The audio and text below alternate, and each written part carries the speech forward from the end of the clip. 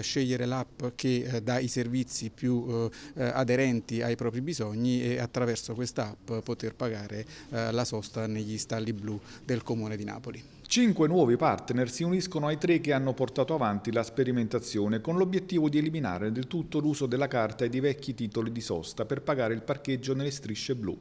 Sui telefoni dei napoletani stanno per arrivare otto applicazioni di comprovata esperienza italiana ed internazionale selezionate da ANM, ciascuna con un'offerta personalizzata di servizi e accessori.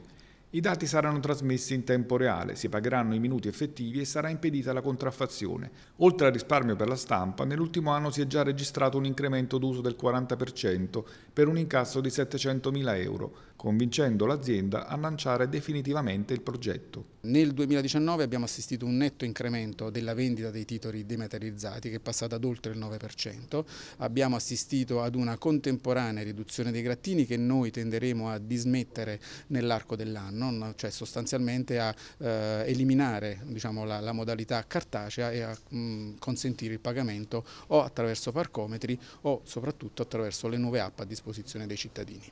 Avremo vari utenti operatori che consentiranno con app di pagare praticamente il, i parcheggi, a questi evidentemente non scompariranno i, le emettitrici dei biglietti, che anzi ANM si sta diciamo, attrezzando per potenziare potenziarle ulteriormente. È un importante servizio per la città e va, è una di quelle politiche che sono anche previste nel piano urbano della mobilità sostenibile cui, a cui ogni tanto io faccio riferimento, che rappresenta un po' la pianificazione della mobilità per le città. Eh, questo ci consente anche di avere in futuro eh, servizi pubblici di trasporto più facilmente integrati fra di loro.